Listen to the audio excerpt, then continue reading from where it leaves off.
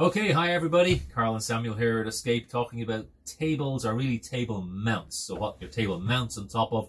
Because at Escape we have three different options that you can choose from. Today we're sitting in a 21NE um, with a U-shape and this is the standard that it comes in. And we're sitting with a Springfield pedestal. So Samuel, tell us, why would someone choose a Springfield pedestal? Well, the Springfield pedestal, it comes uh, from the marine industry. So we have one table leg down here. So you have a little bit more room down there. One of the main reasons customers choose that is because it's pneumatic. So there is basically air pressure, or gas pressure, and it will lift up the table from its uh, sunken down position. Mm. So what that does is if you are making your bed every night, then this may be a little faster for you. At least you don't have to lift the tabletop out. Yeah, so it's a little bit easier if you have some mobility issues. Yes. More more than anything. And it gives you a bit more freedom for your legs yeah. underneath. Now, of course, there are there are always, you know, with with with RVs and, and tables, when you're trying to get as much free space underneath the table, then you don't have all four corners supported. And four corners gives you the most amount of stability mm -hmm. that you may want in a table. But what did your parents teach you when you were a kid?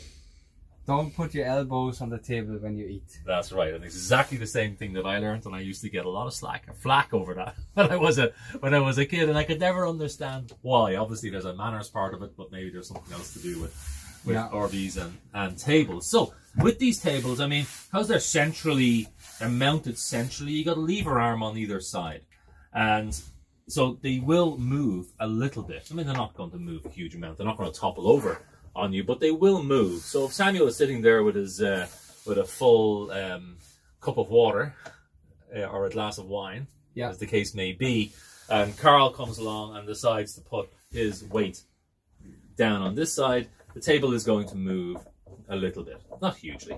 And I'm not the smallest person in the world either, so yes. you know I can put I can put a fair bit of pressure pressure onto this table. And the same would happen on the front, and the same would happen on the back. Of course, when we have our two pole system, and we'll go do a bit of a video on this, because the poles are more like here and here, and then this one, then you have a shorter lever arm, so it won't move as much front to back, but it will move the same pretty much side this way. Yes. With us. Okay. Yeah. And then we're going to look at the Lagun table mm -hmm. as well. Uh, the Lagun, sorry, Lagun. I don't know how you pronounce that one. Lagun. Lagun, L-A-G-U-N. I'm guessing right. Lagun, Lagun table um, which has a, a, single pole on the on this side and comes and mounts somewhere up around the around the center. However, with the 21NE, because it's it's uh, longer, yeah, generally than the than the other tables, mounting off of here, it mounts uh, a little bit further back than center, so it's, it's a slightly longer lever arm. And Karl, when would you not choose this table? Is there a, is there a reason why we would say this table is not ideal? Um, if you, for instance, would like to get to your storage compartment and you have to move the tabletop. Yeah, well, obviously you can't remove the center piece that's screwed down into the floor. Yeah. So if you wanted to remove the entire table and the legs that it mounts on, then you would go for a two-pole system or potentially the Lagun yeah. The table mount. So permanently fixed, but we can still move it back and forth so yeah. to make it easier to get in and, in and out. And right. in fact, where Harrison shows, if I open these up here, I can even move the table in the other direction and I could say let's have it this way. Yeah. You know, maybe yeah, well we could be this way. Or this way, yeah. yeah. Play cards or whatever, so. Whatever it might be. Yeah. So that's a handy feature of this. You really only get it on the well, for the center swing like this, you only yes. get it on the, on the Springfield pedestal yeah. mount that we uh, that we use. Okay, so we do a quick uh, demonstration on how we would turn this into a bed. Mm -hmm. okay, so maybe I'll uh, jump out here, Simon. Okay. So it's a bit chilly in here. We're actually outside in the uh, parking lot. I don't know what the temperature is today. I think we're down around. Gosh, I can't even do the Fahrenheit calculation, but we're down around uh, you know, two or three degrees Celsius. So to make this into a bed, I would typically take those side cushions away.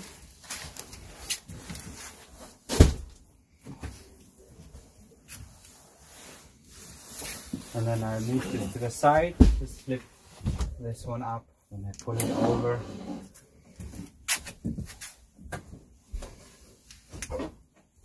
The other side. And I center it. I have opened these two locks. Now basically what I do is I push it down. Right back in there. Now I do have to keep it because it naturally wants to spring up. So either you hold it with one arm or somebody else holds it for you and then you lock it back in place right there. And that's how you It's simple. make your bed, put the cushions back Cushions on and off you go. Beautiful. Okay. Very good, great. We'll move on and look at the other tables. Okay, we're back again. Now we're going to look at the Lagun table. The Lagun table is a cantilever mount. It runs from the back of the U-shaped dinette through up underneath to around the center of the table. Now the Lagun mount is obviously it's a cantilever mount, so in terms of the table, it's a little springier just a little springier, right? So if you're to play with, it's a, definitely a little springier than the Springfield. Yeah. Samuel, why would we choose this? So if you move that table out like that, we have all this space to get to our overhead cabinet. Easy reach. We can sit like that. Relax, yeah. Put our feet up, that's right. Beer, It's glass very- of wine, Yeah, of water. so it's very versatile. Yeah, yeah. This is a very. We can move it around. I like this. This is a very kind of uh, yeah versatile, comfortable setup. Yeah. now it is a little more springy than the other two options that we have. But I think that's about the only downside that I can come up with Mhm. for the Lagun table mount. And of course, we've implemented the Lagun table mount because, you know, last year we had a lot of people asking for the Lagun table or if we had the ability to install the Lagun table. So I think William and Dustin have done a nice job at, at sort of developing this solution for us so we can have this. But bearing in mind, of course, you know, there are always some pros and cons to these different table mounts. So for the Lagun table mount, if I rest my elbows on this, it is a little more springy, Mhm. and people should just be aware of that. yes. Now, we're going to do a deconstruction on this, turn it into a bed, Yeah. but we'll do it in the fifth wheel in our showroom, just because we're actually in this trailer at the moment in our fiberglass shop, because it's being polished up, and uh, this will be going into our showroom very soon. That's it. Anything else, Samuel, on this one? Oh, that's perfect. And yeah, as you said, we can totally remove the table and the and the leg here. Yeah. Oh, of course, one thing I didn't mention is this can be locked in position. So Yeah. we can lock this up now so that it won't spin. Oops. Lock this side up. Now it won't move. All right. So to make a bed out of your Lagun table, we recommend to first loosen this bit here. And uh,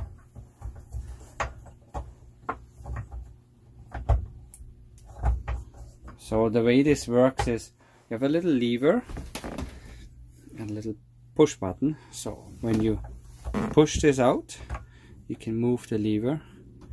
This will tighten it. This will release it. So I can tighten, release it like this.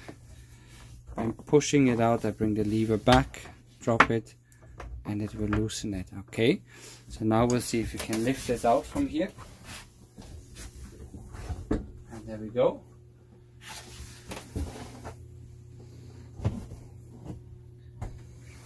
This arm here, same.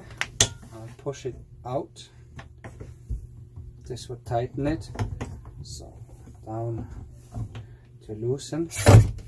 Okay, there we go. And then I can just slide it out right this. And now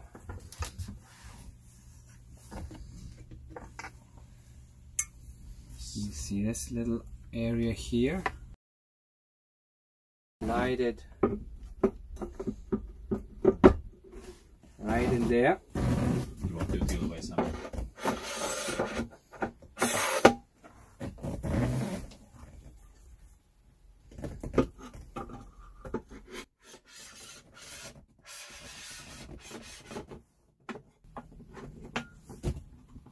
and then lock it in place.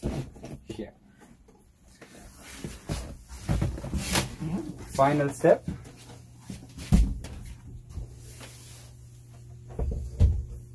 Would be to lift that in.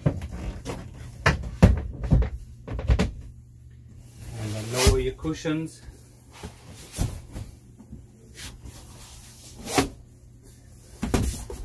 And your backrest slides in here.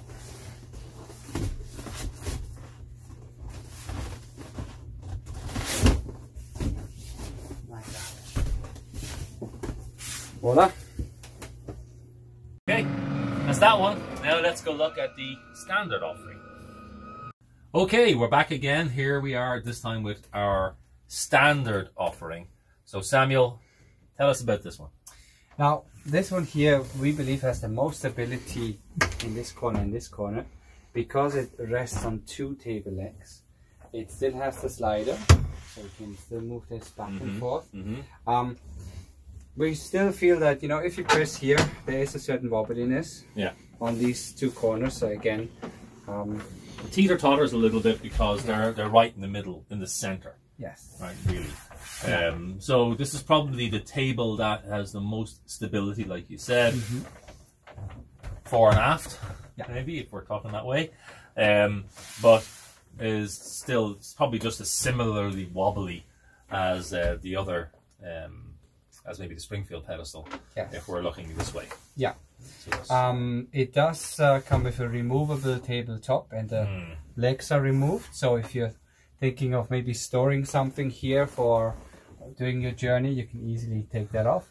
And um, we will show you also how to make a bed on that one, right? Yeah. Okay. So our very good. standard feature, basically, this is how the table comes if you don't choose any of the other options. So we've gone from, we've done the Springfield. Uh, the Springfield table, the Lagun, and this standard offering with the two poles. That's right. Very good. Okay. Okay, all right, let's deconstruct this and turn it into a bed. First step, because this is a slider, and we're going to be lifting it off, I would go ahead and tighten this up. So I tighten this up so it doesn't slide on me. It's good enough for this stage. It's not.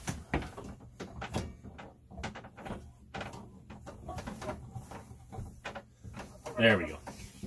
Then I like to sit in to disencase the poles underneath. One smart way of doing it is to twist. It'll loosen it off. I like to sort of twist it, and then I like to lift it up from here. I tilt it forwards. I'm sure there's a number of ways of doing this. I like to tilt it forwards and then pop one off, second one, second one off. Then drop it down into your bed. Tilt it up. like That pull in.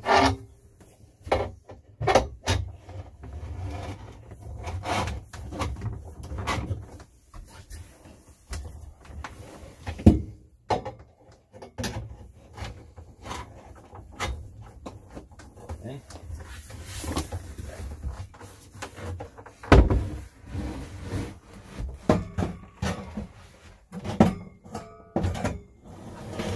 Up.